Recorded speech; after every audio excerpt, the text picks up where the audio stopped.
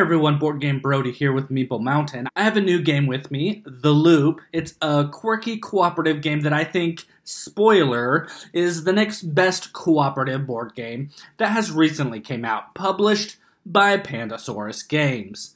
So let's get straight to it as there is some complexity to the game. The board is set up with some red cubes placed in some areas. These red cubes are rift cubes. Bad for you. They are created by Dr. Foo's time machine. For each era, there is a space for three of these, and once a fourth one is placed, the rifts will damage that era of time and it turns into a vortex, which again is bad for you all. The green cubes are energy cubes, good for you players. These will be placed out during the game to be used as a resource by any player that's in the era where the resource is located, either to move or to spin to loop, a cool mechanic in the game which I will explain later. There are seven total eras, each going further back in time or forward in time. Some of these areas will also have Dr. Foo duplicates placed on them. These are these circle tokens with Dr. Foo's face on them. One side will list the generation where it should be placed first when placed on the board, and the other side is the era where the duplicate needs to be pushed to for it to get destroyed players want to get rid of as many of these tokens as possible because they cause more rift cubes to be placed when Dr. Foo is in that location. Each player will control an agent, and all agents have their own special abilities, and some with different difficulty levels to play them. In addition, they each have their own different starting cards. This game is also a deck builder, so players will start with 6 cards at the beginning of the game, but players will be able to pick up additional cards to do additional actions. Players will have a hand limit of 3 cards each turn, and the card has its action listed on the bottom. As you learn the game, you will also notice that the icons on the left side will also help you quickly see what type of thing that card will affect. Lastly, the top left of that card will show what dimension that that card belongs to. And this is important when a player loops, and players will want to try to collect multiple cards of matching dimensions to better combo their cards. The game starts out with two missions being revealed out on the board, and players will work together to try to fulfill four total missions in the game to win. But this is when you play in the sabotage mode, as there are different modes of how you play this game but in this sabotage mode, you will need to achieve 4 sabotage tiles to win. You will lose when either 4 vortex appear, or when a second vortex appears in the same era, or when Dr. Foo cycles through its deck 3 times. These are Dr. Foo's cards here. One of these will be flipped out on each player's turn, but when all cards have been revealed, then they will be shuffled together and placed on this second slot here. And this is the last slot where if cycled through, you all will lose the game if you didn't complete the four missions. These are the artifact cards, which are cards that you will gain to place in your deck. One of these cards will be placed out on each player's turn, matching the era that it belongs to. And when you end your turn in an era with one or more of these artifact cards, then you can pick one of them to place on the top of your deck to add to your cards, giving you different actions to perform. Now, I did mention that this is the sabotage mode, but you can instead play other modes that change the rules a bit or changes the win and lose conditions. Anyways, on your turn, you will follow the same steps each time, changing how the board is laid out and giving you actions according to your cards. Dr. Foo will always go first and he will cause some trouble. In the first round of the game, or when Dr. Foo's cards are in this first slot here, the active player will draw a random duplicate, one, from the bag that is then added to the era listed on the generation side. You will look at the icon to see where it goes, and then you will flip it over to show Dr. Foo and where you need to push him to to get rid of that duplicate. You will then draw the top artifact card and place it off the board next to the era where the card is from, shown on the bottom left. This card is now available for all players to add to their decks if they end their turn in that era. On subsequent rounds, when Dr. Foo's cards are in different slots, then you will add more duplicates to the board, or whatever it shows on that slot. As you can see, it will get more intense as the game goes on. So after you have added the duplicates and the artifact card, you will then reveal and apply the top Dr. Foo card. This card will indicate where Dr. Foo is transporting to through his time machine. The center slide will point to the shown era on that card. Rift cubes will then be dropped into the machine where chances of them landing will be divided into the three possible eras with slides pointing towards them. You will determine the number of Rift cubes to drop by taking 2 plus the number of duplicate tokens currently in the era where Dr. Foo is at. Again, rifts form a vortex when 4 Rift cubes are present in an era. If a vortex forms, then the mission that is either present or flipped over or still face down is discarded from the game, never to be finished. This gives players less chances to complete 4 missions total. Also, when a vortex appears, all artifact cards are discarded. After all the mayhem, it is then your turn to fix some of it in the action phase. Players will be able to use their three cards in any order to perform actions. But location is key. Players will need to move to specific locations to take advantage of their cards.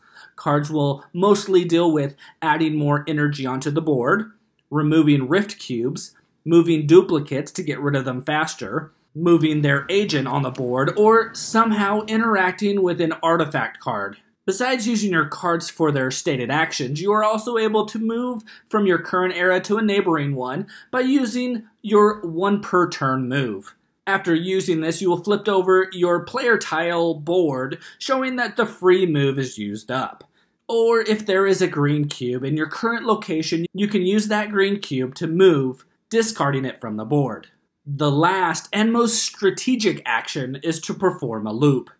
Dr. Foo can be quite powerful, but the agency has their secret weapon, the loop, also known as the time loop. Players can use energy from their current era to ready already exhausted cards played that turn.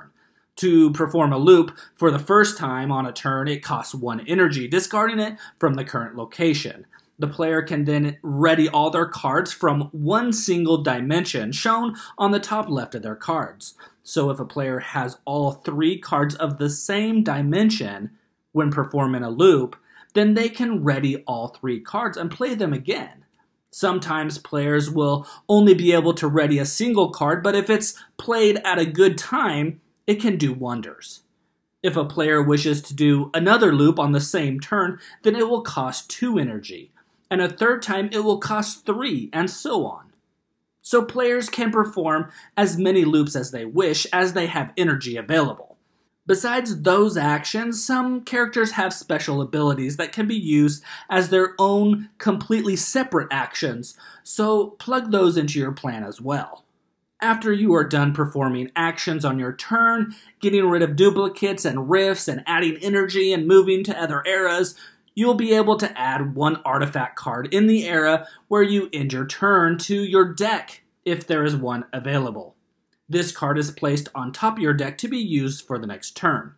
At this point, if you have accomplished a sabotage tile or one of the missions that you are currently in, meaning you are currently located in the place where that sabotage tile is ready to be completed in, then you can archive it, removing it from the board.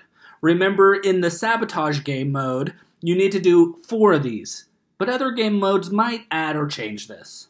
The active player will then lastly turn over their agent tile to full batteries, discard their used cards from their hand, and all players with less than three cards in their hand will draw up to the three cards. These steps will be repeated for the following players, and whenever Dr. Foo's pile is empty, you will reshuffle those cards and place them in the next space. The game ends when either a victory or a defeat condition is met. The rulebook does a great job explaining the game, but it also includes some clarification on various aspects of the game, like the sabotage tile missions or the artifact card abilities. That way, you can figure out things out without guessing how the game is actually played. Again, this is the best new cooperative game that has come out in quite some time. It has a little pandemic feel to it as you're trying to complete a mission while putting out various fires, but there is so much more to this game. Your missions in the game are always different. It's not the same thing each time, and the fires that you're putting out have a big variety as well. The way you deal with all this is done with your deck of cards. So then you add into your strategy which cards you want to pick up that you see out on the board, which can help you to do more things in the game. But you have to end your turn in that specific era to get that card. So the strategy is very multi layered as you are focusing on several aspects of the game. You're adding energy, you're removing rifts, you're pushing duplicates to desired eras, you're picking up cards that match your deck well, or picking up cards that will help according to the current state on the board.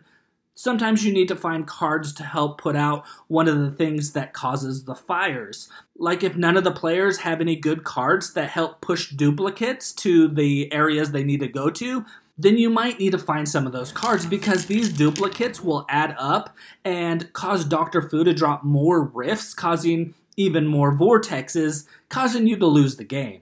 So players will need to pay attention to each other's plans and what's happening on the board to better put out fires and to better complete sabotage tiles to progress and win the game.